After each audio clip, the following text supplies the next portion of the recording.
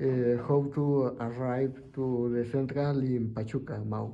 Uh, well, see, if you want to go to the central in Pachuca, uh, you want to leave the the UPMH and go straight on, uh, and after uh, under the bridge, and you turn the you turn the left and straight on in the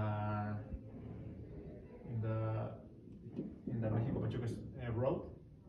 After after of 15 minutes, uh, you across the bridge and you arrive to the Pachuca.